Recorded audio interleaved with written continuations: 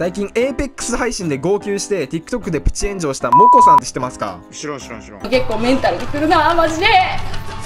二度と言わないでほしいマジで。